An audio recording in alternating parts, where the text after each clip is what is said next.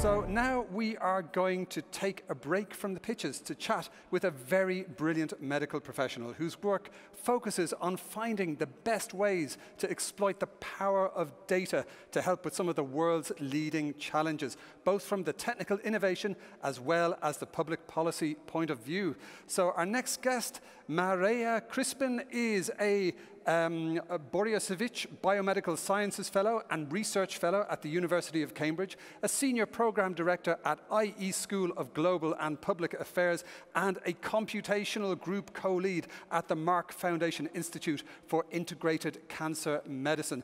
Thank you so much for joining us, Mariella. It's great to see you. Or Mireia, I beg your pardon. Beg your pardon.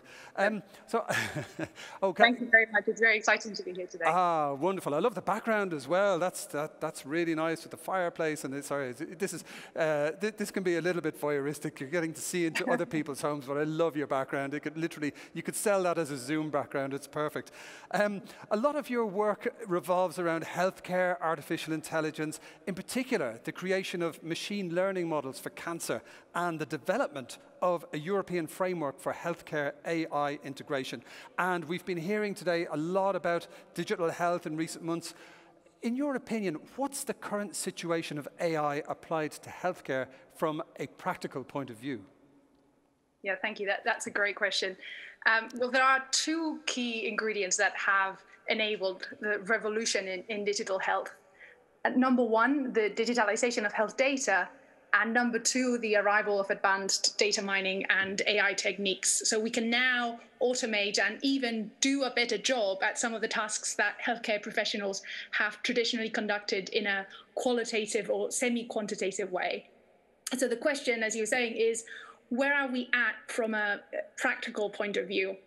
And it's actually something that we were wondering at the Center for the Governance of Change at IE University. And so we recently did a, a study of the status of healthcare AI in Europe. And in one of the papers of our report, uh, what we showed was that uh, digital health innovations are developing across Europe, interestingly, with some countries dominating the landscape, particularly Germany, the Netherlands, the United Kingdom, and, and France. So innovation is happening. The advances are very promising. But with some exceptions, a lot of the AI developments have focused on technological upgrades of particular moments of care, so pathology, radiology, as opposed to redesigning care pathways. In other words, improving the way that patients experience care. Hmm. So the, the, the next question would be really, why have we not seen significant changes yet in healthcare? And the answer, as always, is um, because there are still important challenges. And there are, first of all, the development challenges. And, and one of the speakers was talking about this just a couple of minutes ago dealing with data, annotating, curating, sharing data. It is still one of the biggest bottlenecks for most AI applications. Mm-hmm. And we're also becoming more and more aware of the many biases that these algorithms can have. So that's a, that's a huge issue. And then there's also the implementation challenges from addressing skills gaps to understanding the public professional perception and, and finding the best ways of integrating these technologies uh, into the care pathways.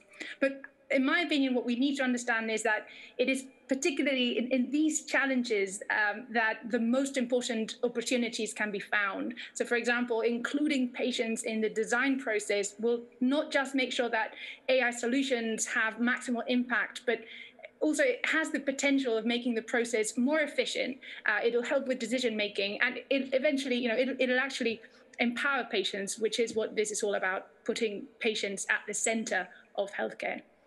I love it. Patient-centered healthcare. That, that's fantastic. Hold that thought.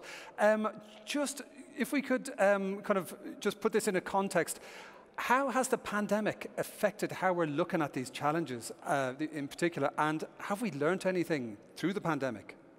Yeah, another great, very timely question. So I would say that there are two very important learning points. Um, the first one is validate, validate, validate, and validate again.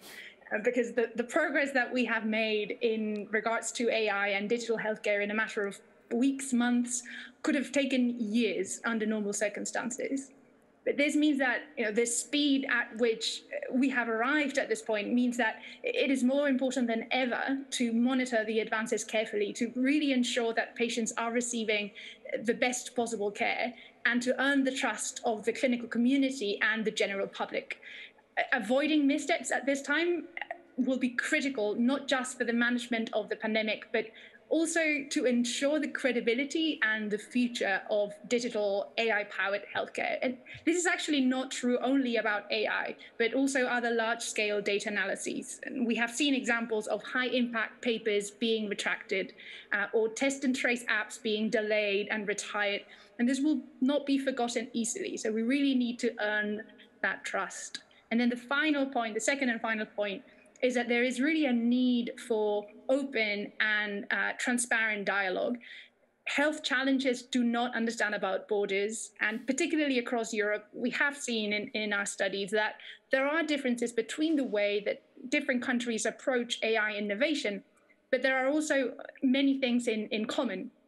And there are challenges such as questions about data diplomacy or the other questions that we were talking about earlier that can only be solved if we have an open, transparent, inclusive, and international conversation.